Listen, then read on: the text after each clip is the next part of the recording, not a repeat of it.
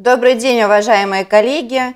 Сегодня мы продолжаем ряд лекций, которые посвящены заболеваниям желудочно-кишечного тракта и уделим внимание кислотозависимым заболеваниям. И, конечно, тем заболеваниям, которые наиболее часто встречаются а, в амбулаторной практике. Это функциональная диспепсия, гипероцидный гастрит, мы затронем и другие виды гастритов, язвенная болезнь желудка и двенадцатиперстной кишки. А, естественно, мы будем рассматривать а, эпидемиологию, морфологию, затронем вопросы классификации, диагностики и естественное лечение – и так как мы говорили о том, что кислотозависимое заболевание, нужно не забывать о факторах агрессии, факторах защиты, так называемых весах шеи. И превалирование факторов агрессии над факторами защиты приводит к заболеваниям а, кислотозависимым. То есть само, сам ответ, он, в общем-то, в названии этой нозологии, то есть связанные заболевания с повышенной продукцией соляной кислоты. И, конечно, любому доктору, который видит пациента на амбулаторном приеме, нужно сразу проводить дифференциальную диагностику. Перед ним молодой молодой пациент или все-таки пациент э, возрастной. Для молодых характерна гипероцидность базальная в теле желудка менее полутора единиц, чаще всего наследуется генетически. Поэтому, когда к нам приходит пациент э, с кислотозависимым заболеванием, мы предполагаем, естественно, это важно не только для любых нозологий, но особенно для кислотозависимых заболеваний, спрашивать анамнез. Указание на анамнестический на язвенную болезнь желудка 12-перстной кишки в ближайшем родстве у родителей у дедушек и бабушек уже в детстве приводит к заражению хеликобактер пилори. И когда мы у молодых говорим про кислотозависимые заболевания, особенно по пропептическую язвенную болезнь, не нужно ее путать с другими поражениями эрозивно-язвенными желудка 12-перстной кишки, которые обусловлены другой этиологией. Для молодых характерна истинная, и что такое истинная пептическая язвенная болезнь? Это язвенная болезнь, которая обусловлена повышенной кислотопродукцией, чаще всего она следуется генетически и обусловлена наличием хеликобактер пилори а, инфекции. Соответственно, эти пациенты, они наблюдаются амбулаторно, лечатся амбулаторно с достаточно хорошим эффектом, и об этом поговорим чуть позднее. Может быть приобретенной во взрослом а, возрасте. Теперь мы поговорим о кислотозависимых заболеваниях, в общем-то, акцентирую у пожилых пациентов, э, у возрастных пациентов. И здесь огромный спектр нозологий, которые могут привести к коррозивно-язвенным поражениям желудка 12-перстной кишки. Но в практике мы помним, помним, что на первом месте это сердечно-сосудистое заболевание, соответственно, хроническая диспепсия при хронической сердечной недостаточности, атеросклерозе чревных артерий. Если произошла острая сосудистая катастрофа, то есть э, острая ишемия при инфаркте миокарда, расслоение аорты, естественно, обусловлено приемом нестероидных противовоспалительных препаратов. Все это приводит к поражению, развитию эрозивно-язвенных изменений слизистой желудка и 12-перстной кишки. Начнем мы с функциональной диспепсии. Надо сказать, что функциональная диспепсия достаточно распространенный диагноз, не только, ну, у нас, наверное, даже в стране он не настолько распространен, как в странах Европы. А, немножко возникает у многих докторов путаница, когда диспепсия мы в клинике внутренних болезней расцениваем как синдром, а в европейских э, источниках э, диспепсия э, больше звучит как диагноз. Надо сказать, что единого определения понятия диспепсии не существует.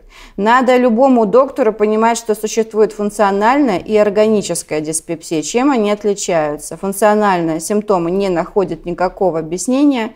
Органическая диспепсия, когда установлен диагноз, да, вызывающий эти симптомы. Функциональная диспепсия – это состояние здоровья пациента, которое указывает существенное влияние на его обычную текущую деятельность и характеризуется наличием одного или более следующих симптомов. Но в первую очередь это чувство полноты после еды, быстрая насыщаемость, эпигастральная боль или эпигастральное жжение, которые необъяснимы после обычного клинического исследования. Достаточно высокая распространенность функциональной диспепсии составляет примерно около 25% взрослого населения. Заболевают примерно по разным источникам от 1 до 10% населения. Распространенность она достаточно стабильна на протяжении последних лет, согласно данным статистики. И надо отметить, что женщины болеют чаще, чем мужчины. Есть определенные факторы риска. То есть, когда к вам приходит на амбулаторный прием пациент, мы всегда для любой нозологии оцениваем факторы риска. Так вот, для функциональной диспепсии это женский пол, как мы сказали ранее, более старший возраст, а, снижение уровня урбанизации, чаще всего инфекция хеликобактер пилори, прием НПВП и другие факторы – Что же способствует развитию функциональной диспепсии? Первую очередь это замедленная желудочная эвакуация. Это доказанные факторы согласно римским критериям 4, то есть ослабление моторики антрального отдела желудка с замедлением эвакуации содержимого. Также нарушение желудочной аккомодации, которое контролируемо вагальным рефлюксом. Ну, мы знаем, что нервус вагус, он у нас царь всего, и снижает способность кардиального отдела и дна желудка расслабляться после приема пищи под действием нарастающего давления содержимого на его стенке. В норме этого не происходит. И и нарушение ритма перистальтики. Как мы говорили, что в последнее время есть такой термин а, повышенная проницаемость слизистой желудочно-кишечного тракта. И а, вот нарушение на трех этапах защиты проницаемости тоже может привести к функциональной диспепсии, потому что ранее считалось, что функциональные расстройства это только расстройство функции, нет никаких изменений. Сейчас доказано, что на протяжении желудочно-кишечного тракта это нарушение проницаемости трех слоев а, слизистой желудочно-кишечного тракта на всем протяжении. Функциональная диспепсия имеет четкие критерии, то есть мы не можем поставить диагноз, просто посмотрев на пациента и собрав жалобы. А, существует несколько подклассов, так скажем, функциональной диспепсии. В первую очередь это постпрандиальный дистресс-синдром, Второе – это эпигастрально-болевой синдром. Это все внутри функциональной диспепсии, но не будет большой ошибкой, если вы поставите диагноз только функциональной диспепсии. И так для нее характерно. А, беспокоящее неприятное чувство полноты после еды. Нужно иметь а, для того, чтобы поставить диагноз, один или более следующих симптомов. А, беспокоящее быстрое насыщение, беспокоящая эпигастральная боль или эпигастральное жжение – отсутствие данных об органической патологии. Ну а мы об этом уже говорили и будем говорить, что все-таки функциональные расстройства – это диагнозы, пока на настоя... в настоящее время диагнозы исключения. То есть когда мы исключаем любую другую патологию, а, мы можем поставить и при наличии симптомов, которые укладываются в римские критерии 4, мы тогда можем поставить диагноз функционального расстройства. Для постпрандиального дистресс-синдрома характерен один или два симптома не менее трех раз в неделю. А, последние три месяца на протяжении последних полугода. Это как бы общее правило для всех функциональных расстройств, для того, чтобы поставить диагноз. Для него характерно беспокоящее чувство полноты после еды, беспокоящее чувство быстрой насыщаемости. Или эпигастральный, не или, а и эпигастральный болевой синдром – это беспокоящая эпигастральная боль и беспокоящее эпигастральное жжение. Что же мы должны увидеть объективно? Но прежде чем приступить к осмотру объективному, мы собираем жалобы и анамнез. И, конечно, есть такое понятие красных флагов, которые, для, которые характерны для любой нозологии. И мы должны любую нозологию рассматривать с позиции а, госпитализации, решения вопроса госпитализации пациента в стационар или более пристального его обследования и наблюдения. Так вот, для функциональной диспепсии, когда мы видим перед собой амбулаторного пациента, мы должны обратить обратить внимание и спросить, была ли потеря массы тела за последнее время, есть ли повторяющая тошнота, рвота, прогрессирующая дисфагия, ну, естественно, грозные а, симптомы, осложнения, такие как кровотечения желудочно-кишечного тракта. Объективно возможна болезненность при пальпации в эпигастральной области, но ее может и не быть при объективном обследовании. Конечно же, мы должны пациенту должны назначить весь спектр э, лабораторной диагностики, но не весь, а основной. Конечно, клинический анализ крови. Мы должны обратить внимание на гемоглобин, уровень соя, но для функциональной диспепсии мы понимаем, что никаких изменений ни в общем анализе крови, ни в биохимическом анализе крови мы не должны должны увидеть. Сейчас современное определение скрытой крови в кале – это иммунохимический метод, потому что мы знаем, что а, прошлые методы, они не объективны, потому что иногда даже при потреблении белковой пищи а, анализ кала на скрытую кровь давал ложноположительные результаты. Но сейчас этот метод иммунохимический он доступен, в общем-то, во многих поликлиниках, и поэтому его необходимо назначать пациентам. Основные методы исследования, когда вы собираете анамнез, жалобы, а, вы делаете электрокардиограмму, для функциональной диспепсии вы должны сделать эзофагогастродуденоскопию. И, конечно, современный метод, вы об этом не должны забывать, он существует более 20 лет, обязательно написать направление, чтобы определили хеликобактер пилори. А, дополнительным методом относится достаточно большой спектр, спектр исследований, начиная от электрогастрографии, сцинтиографии. А, метод для кислотозависимых заболеваний, который используется как критерий постановки диагноза, это pH-импедансометрия. Достаточно информативный метод, который показывает не только забросы кислого содержимого и кислотность желудка и а, уровень pH в пищеводе, но он показывает другие рефлюксы, в том числе щелочные рефлюксы, которые важны для постановки диагноза.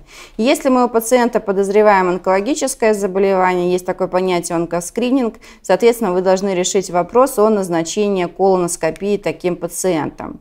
А, дифференциальная диагностика мы, конечно, проводите, а, мы, конечно, проводим, вы проводите, когда видите таких пациентов с функциональными расстройствами любого происхождения. То есть это гастрододенальные функциональные расстройства, функциональные, функциональные расстройства, а, дисфункция сфинктера оди, то есть желчеводящей системы.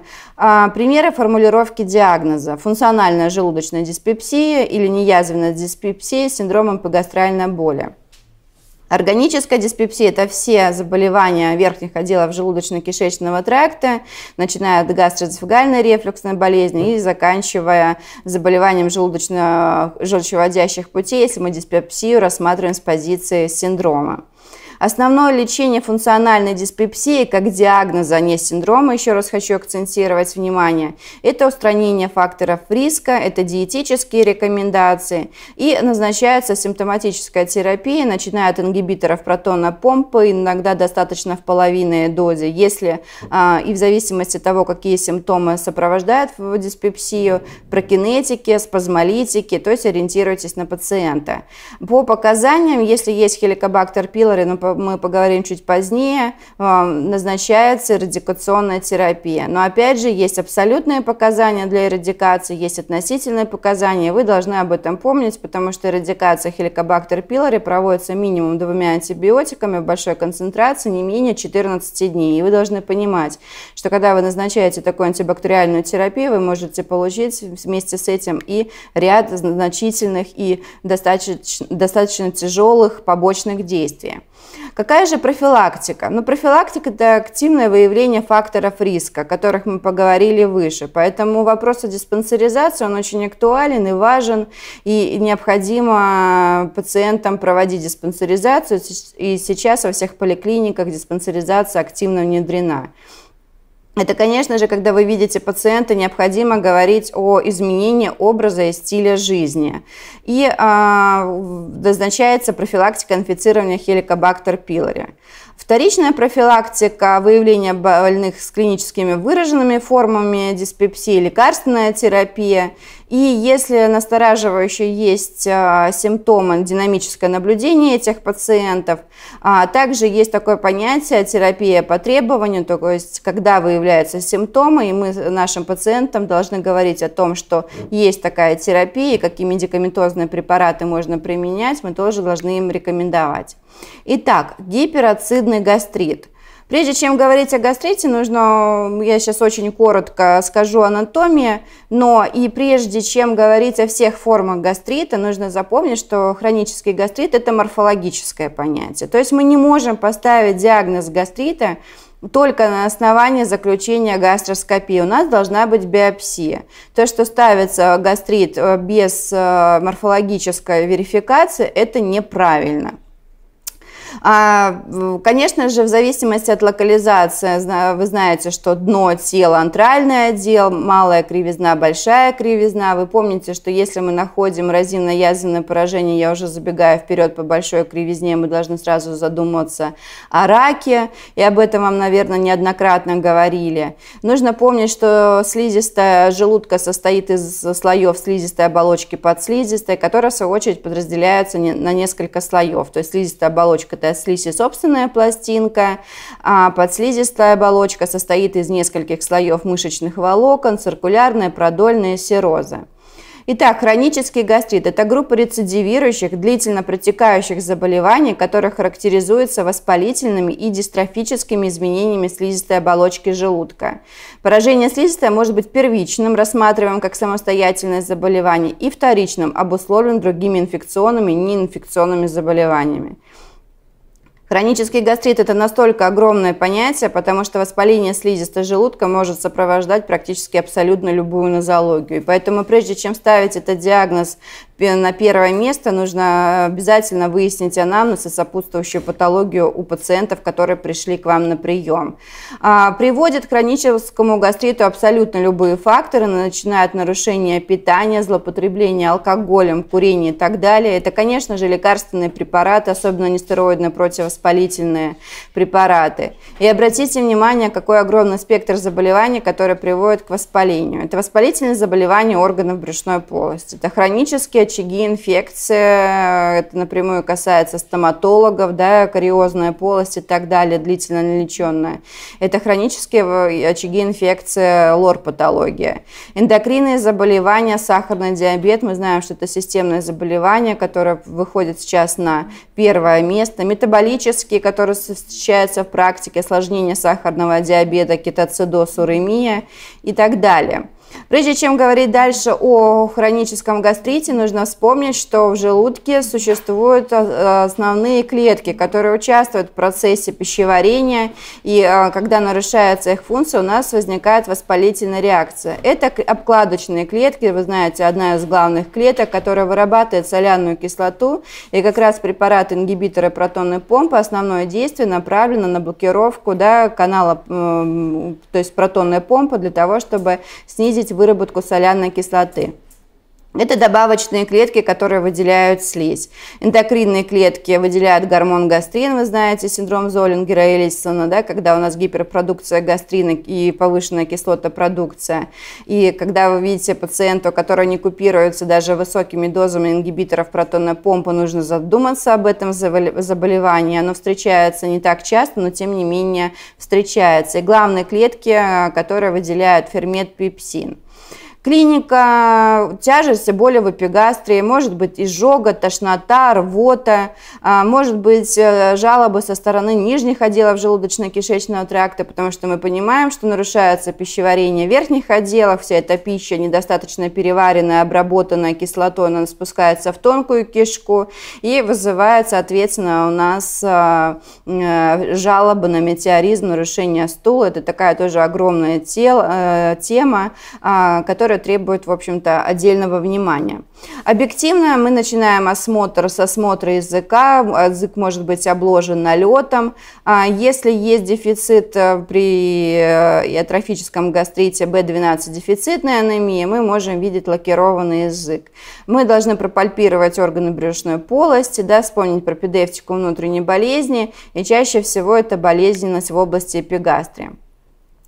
Единая такой классификация, которая является золотым стандартом для любого доктора любой страны, ее не существует. Я вам сейчас приведу несколько классификаций, которые распространены и которые получили такую большую популярность. А, первая классификация – это классификация так называемая сиднейская, которая подразделяет на несколько видов а, гастрита, то есть это гастрит типа А аутоиммунные, а, типа Б хеликобактерный, хронический гастрит типа С, рефлюкс, гастрит. Выделяют отдельно лекарственные, выделяют отдельно при алкогольной поливистропатии гастрит, ну мы называем чаще всего портальная гастропатия. Есть гастрит не, уточ... не установленной теологии, когда нет видимых причин для развития воспаления желудка или двенадцатиперстной кишки. В отдельную классификацию выделены особые формы гастрита, которые встречаются при таких заболеваниях достаточно тяжелых, как туберкулез, а, болезни Крона и другие. По топографическому признаку, то есть в зависимости от того, где видит по эндоскопии воспаление, мы выделяем антральный гастрит, пангастрит или гастрит тела желудка. По гистологическому признаку степень воспаления должна быть описана, степень атрофии, степень кишечной метаплазии. Это очень важно, потому что мы любую метаплазию рассматриваем с позиции предрака. И мы пациентов, у которых выявлена метаплазия, в зависимости от того, какой степени должны наблюдать и рассматривать с позиции развития онкологического заболевания. Если выявлена хеликобактер пилори, соответственно, минимально умеренная выраженная степень обсеменения, это должно быть отражено, но как минимум должно быть отражено в диагнозе ассоциирован с хеликобактер или не ассоциирован. По состоянию кислотообразующей функции, повышенная или нормальная секреторная функция, мы должны это отражать, но иногда в условиях амбулаторных это невозможно, потому что должна быть проведена как минимум pH-метрия. А, классификация хьюстонская, она похожа на сиднейскую, но она более короткая, указаны те же самые формы а, гастрита, но еще добавлено по эндоскопическим признакам. То есть если а, эрозия, если гиперплазия, геморрагический или рефлюкс гастрит.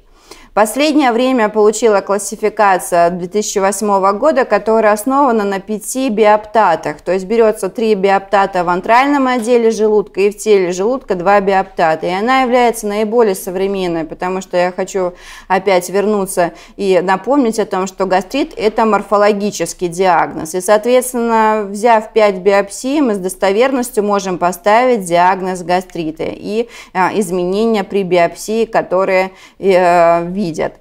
Очень широко распространена эта классификация гастрита, вы, наверное, слышали, в рамках киотского консенсуса. Она более такая детальная и подразделяет в первую очередь аутоиммунный гастрит.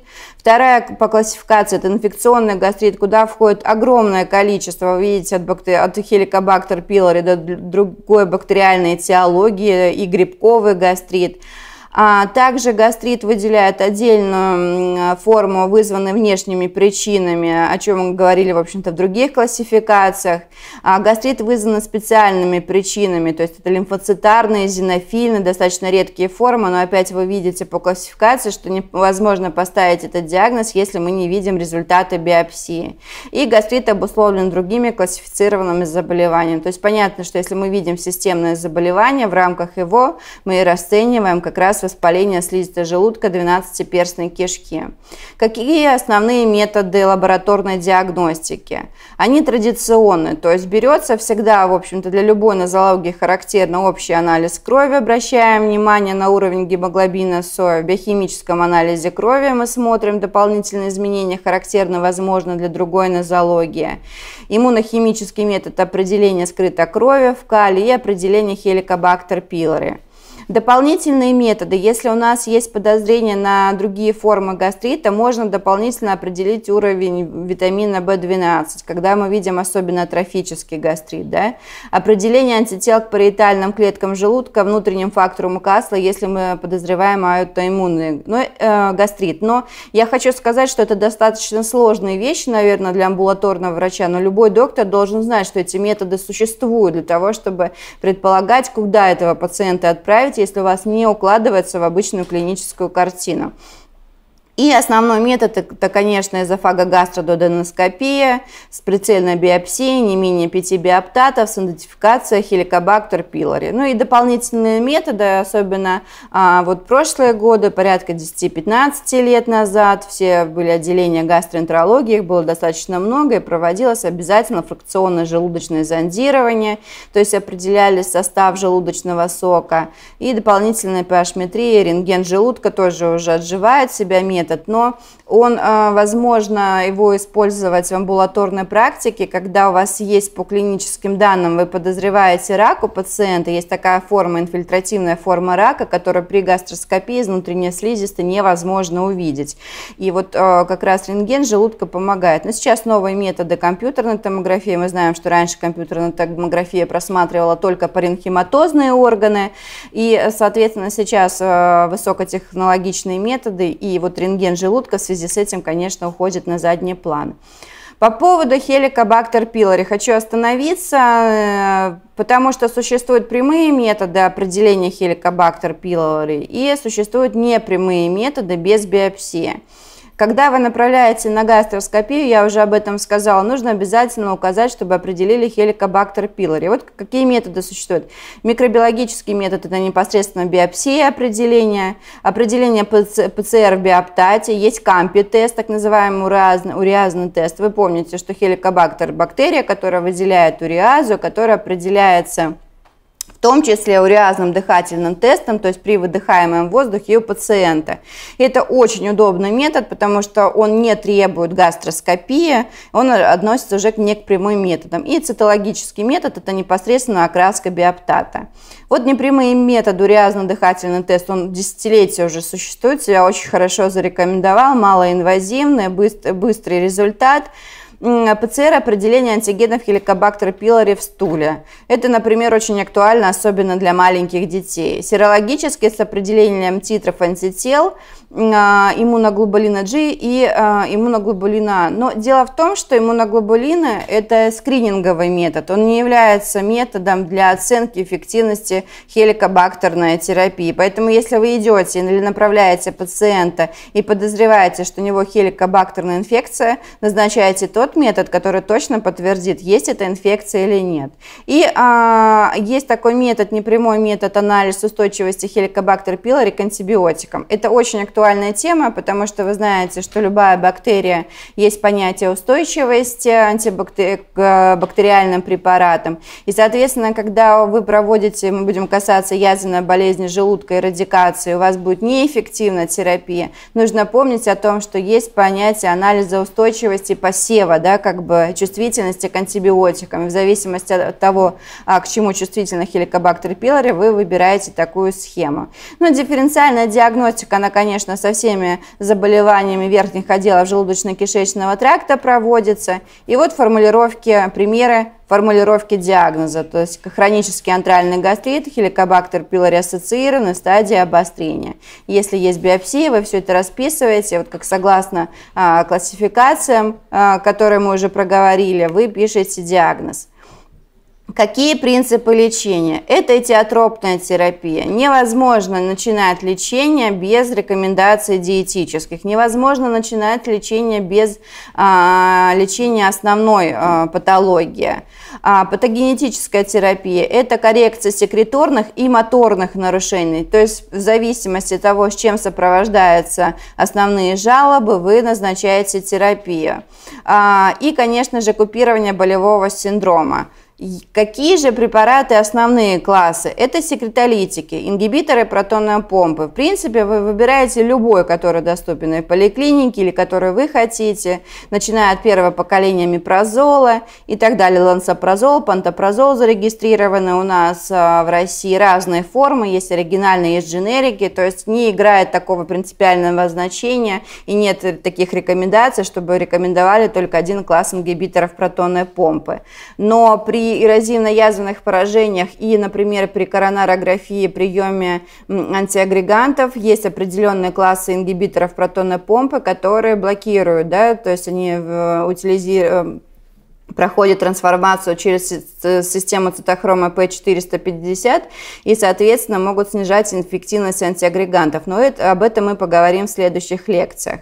Антациды используются при лечении гастрита, гастропротекторы, огромная группа препаратов, это обволакивающие, вяжущие, наверное, самые распространенные, которых все знают, соли висмута. Есть синтетические аналоги простагландина Е, мизопростол. В последнее время огромную популярность э, получил говорил, и во всех рекомендациях упоминается препарат стимулятора синтеза эндогенного простагландина Е2 рибамипид и антибактериальные препараты, как я вам сказала, для эрадикации хеликобактер пилори. Первичная профилактика – это, конечно, активное выявление факторов риска и лиц, предрасположенность к возникновению данного заболевания. Если у нас есть настораживающие, не у нас, у пациента настораживающие признаки, вы э, назначаете диспансерное наблюдение этим а, пациентам. Теперь мы поговорим о язвенной болезни желудка 12-перстной кишки. И хочу еще раз акцентировать, что мы не путаем язвенную болезнь а, с эрозивными язвенными поражениями другой этиологии. То есть мы сейчас будем говорить о истинной язвенной болезни, которая во всех источниках и рекомендациях а, упоминается как пептическая язвенная болезнь, то есть язвенная болезнь, которая ассоциирована с повышенной кислотопродукцией. И э, часто ассоциирована с хеликобактер пилори. Язвенная болезнь желудка и 12-перстной кишки – это хроническое заболевание желудочно-кишечного тракта, основным проявлением которого является формирование достаточно стойкого язвенного дефекта в желудке или 12-перстной кишке. Чаще всего ну, процент, в общем-то, э, заболеваний у мужчин и женщин, вы видите по статистике, примерно одинаков. А локализация язв 12-перстной кишки встречается в 4 раза чаще. Надо помнить о том, что если мы видим язвы в желудке, особенно пожилой возраст, должны задуматься о раке желудка. По данным э, Росстата с 2006 года заболеваемость язвенной болезнью у нас значительно снизилась. И вы, наверное, тоже об этом знаете, потому что все эти пациенты наблюдаются а, в амбулаторных условиях. Опять же, мы не путаем а, эрозино-язвенное поражение, которое чаще осложняется кровотечением и так далее при других а, нозологиях. Когда еще не открыли хеликобактер пилори, было такое выражение, что нет кислоты, нет язвы. Когда в 2005 году получили Нобелевскую премию Барри Маршалл и Робин Уоррен, с этого же времени стало выражение, что нет хеликобактер пилори, нет ассоциированной язвенной болезни.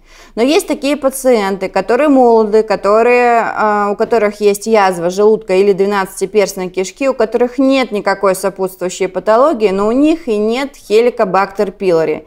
И вот доказано, что генетический фактор в развитии язвенной болезни желудка 12-перстной кишки также также играет достаточно большую роль. И вы, наверное, помните старые основные учебники внутренних болезней, в которых указывается на то, чтобы собирали анамнез. Да, и анамнез э, язвенной болезни у ближайших родственников как раз является прямым указанием развития язвенной болезни у пациентов. А, здесь перечислены достаточно большой спектр генетических, генетической предрасположенности. Считается, что даже группа крови первая да, а, является более предрасположенной к развитию язвенной болезни, но на этом мы, наверное, останавливаться сейчас уже не будем. Какие симптомы характерны? Это боли в первую очередь в области эпигастрии, иногда настолько интенсивный болевой синдром, что происходит радиация. А, и вы видите, что в левую половину грудной клетки, левую лопатку, и вы а, знаете, что везде в дифференциальном ряду острого коронарного синдрома есть и обострение язвенная болезнь и желудка 12-перстной кишки. Боли возникают сразу после приема пищи. Это при язвах кардиального и субкардиального отдела желудка.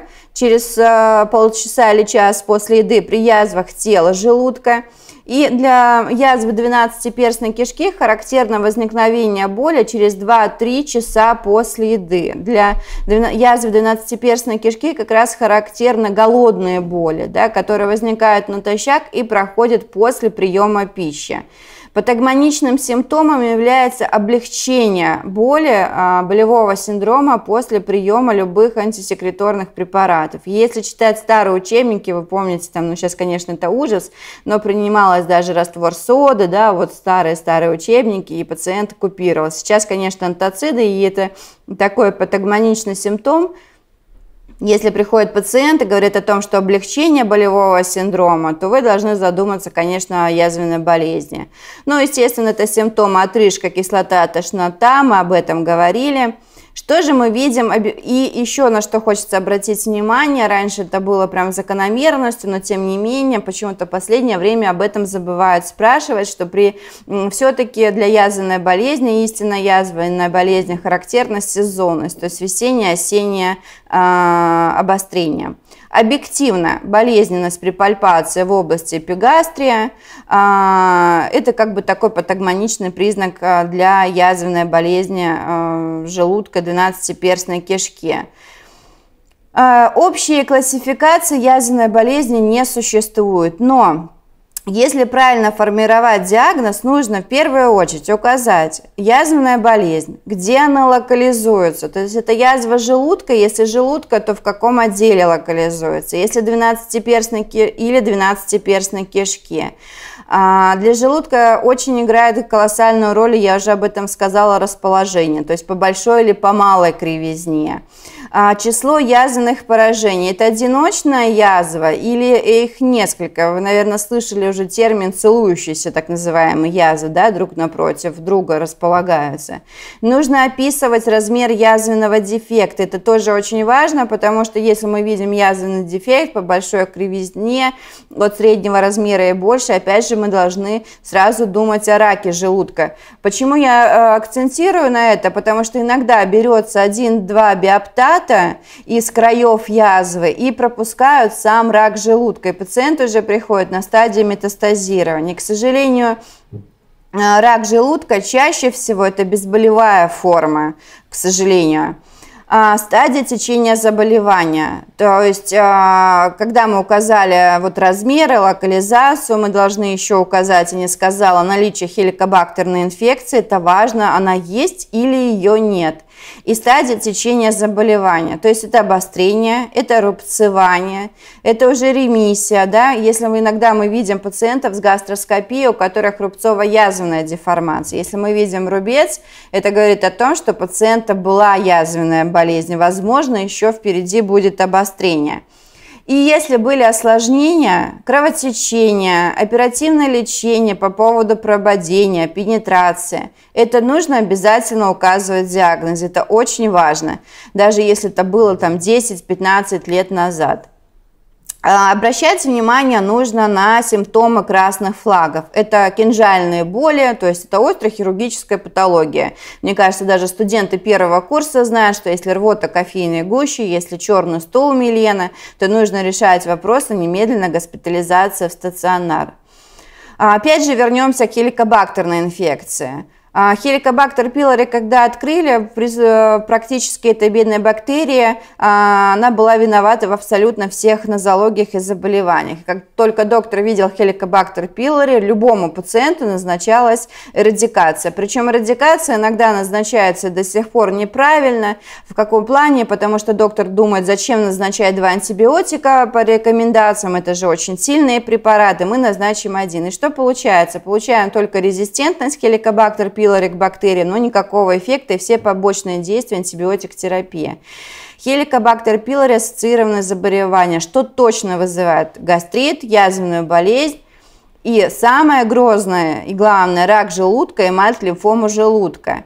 И а, сейчас мы поговорим о абсолютных и относительных рекомендациях для эрадикации. То есть мы не можем всем подряд назначать эрадикацию. Мы должны взвешивать, опять же, я а, напомню о том, что два антибиотика для эрадикации назначаются. Ну, а для язвенной болезни характерны достаточно классические методы исследования общей биохимии, диагностика инфекции хеликобактер пилори любым удобным способом, который доступен в условиях и в поликлинике. Необходимо дополнительные методы исследования не назначаются и а, а, диагностируется хеликобактер пилори, о чем я сказала выше. А дифференциальная диагностика, как я вам сказала, эрозивно-язвенные заболевания, они вызываются огромным спектром нозологии, особенно пожилых пациентов. У нас будет отдельная тема, и об этом мы поговорим более подробно. И вот правила формулировки диагноза, да, примеры, то есть язвенная болезнь, с чем ассоциирована, обострение или нет, где локализуется, то есть, ну, мы об этом также проговорили в классификации. Итак, какое же лечение назначается? Назначается диета, а, рекомендуется избегать а, факторов, которые провоцируют образование язвенной болезни. Назначаются ингибиторы проптонной помпы и назначается радикационная терапия. По поводу, как же улучшить, улучшить результаты. Вы знаете, что есть так называемые мастерские соглашения. Они из года в год проводятся, и а, степень а, доказательности достаточно высокая. Каждый раз разрабатывают а, механизмы или схемы лечения а, для язвенной болезни. Как улучшить результаты? Нужно назначать высокие дозы ингибиторов протонной помпы принципе нет четкой рекомендации, какие. Вы выбираете любые, которые доступны в амбулаторных условиях или в условиях стационара, где вы работаете. Они назначаются дважды в день и назначаются в двойной дозе. Это очень важно. Увеличивается продолжительность тройной терапии с ингибитором протонной помпы и кларитромицином. А, очень много лет была схема 7 дней а, антибиотикотерапии. Сейчас необходимо 14 дней назначать для эрадикации хеликобактер пилори.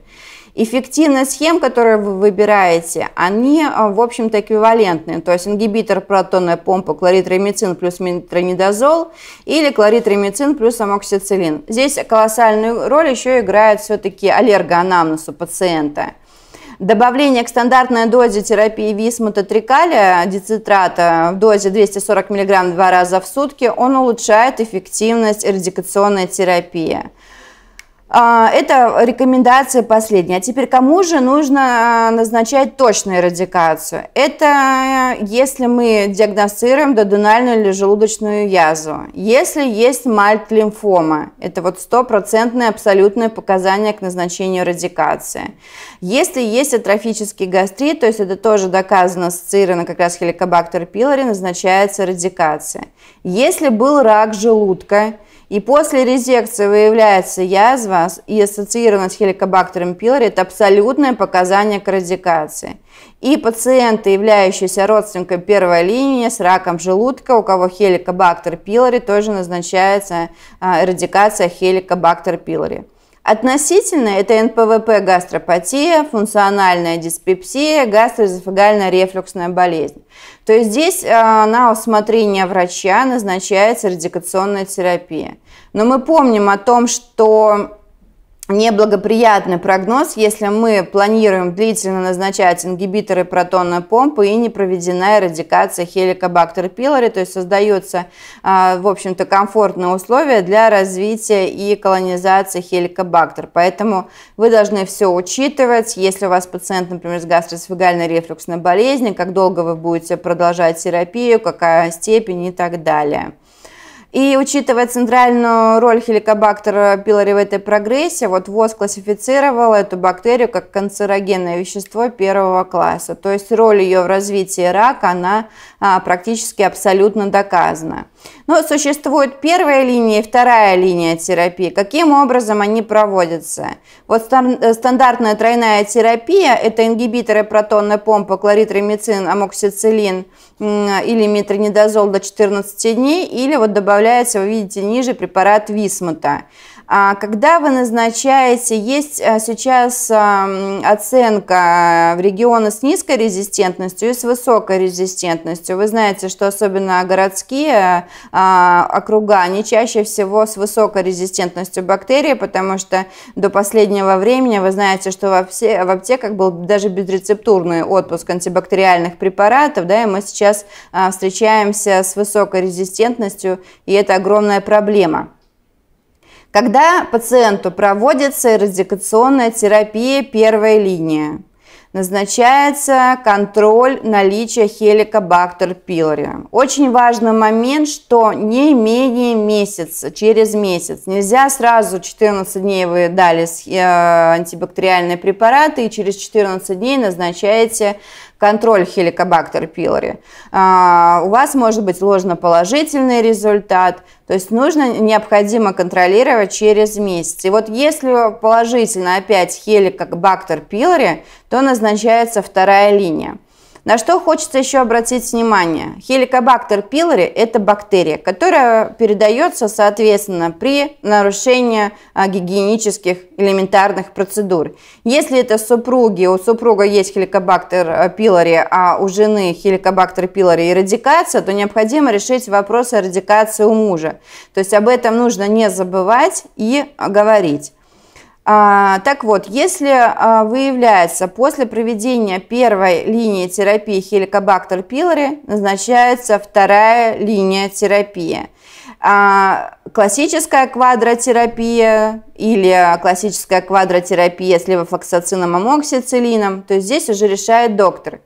И мы возвращаемся о том, что, помните, я вам говорила, что есть определение чувствительности к антибиотикам Helicobacter pylori. И, конечно, если есть возможность в условиях стационара или поликлиники, логичнее сделать посев и определить оптимальную схему для эрадикации. Что же нужно сделать или какие факторы способствуют частым рецидивам и замедленному заживлению? Об этом нужно не забывать.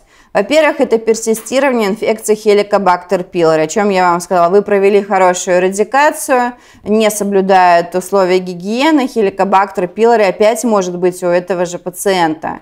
Прием параллельно нестероидных противовоспалительных препаратов, он может удлинить э, прогнозы и э, сроки лечения этих пациентов. Наличие скрыто протекающего синдрома Золингера-Эллисона. Но, конечно, это нужно все-таки обращать внимание на более молодых пациентов, которым вы назначаете хорошую терапию, двойной дозе, ингибиторов протонную помпу, на срок тот, который необходим, а у пациента практически нет эффекта. Нужно заподозрить. И а, нужно направить специализированный стационар, то есть в отделение гастроэнтерологии или в центр гастроэнтерологический, где проведут как раз высокочувствительные методы для определения этого синдрома. Низкая приверженность больных к лечению. Даже если вы назначили хорошую, правильную терапию, нужно пациента убедить о том, чтобы он принимал, потому что все-таки это и антибактериальная терапия, это дважды в день прием лекарственных препаратов на протяжении минимум 14 дней.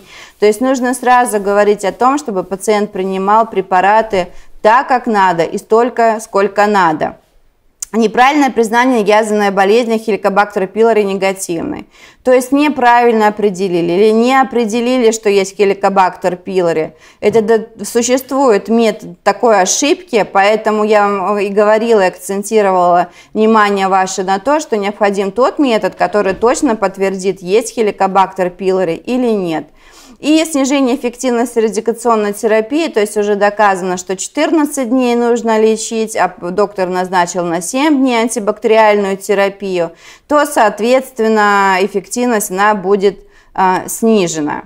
Реабилитация раньше было широко распространено, в последнее время это все а, ушло, но тем не менее существует, есть огромный центр реабилитации, и нужно рекомендовать пациентам а, санаторно-курортное лечение после курса терапии а, язвенной болезни желудка 12-перстной кишки. Ну и естественно, когда есть сопутствующая патология, нужно учитывать совместный прием лекарственных препаратов и проводить диспансеризацию этим пациентам. Итак, резюмируя э, то, о чем сказала выше, когда приходит пациент к доктору на прием, нужно спросить, когда появилась боль, является ли она постоянно или прерывистой, какое время она беспокоит, что ее облегчает, сопровождается ли тошнотой рвотой, есть ли острые хирургические а, какие-то симптомы, да, то есть макофейная гуща, черный стол, и если какая-то сопутствующая патология, особенно ассоциирована с приемом нестероидных противовоспалительных препаратов. А, этиология розиноязвенных а, заболеваний, она обширная, соответственно, мы должны диагностировать сопутствующую патологию и учитывать факторы риска а, пациентов.